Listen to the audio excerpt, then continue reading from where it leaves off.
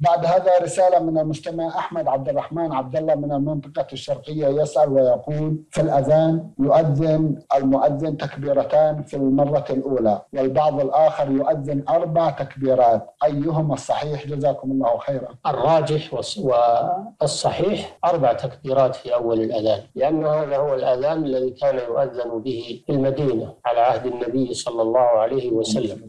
هو أذان بلال رضي الله عنه عند النبي صلى الله عليه وسلم فهو أرجح وأتم. نعم.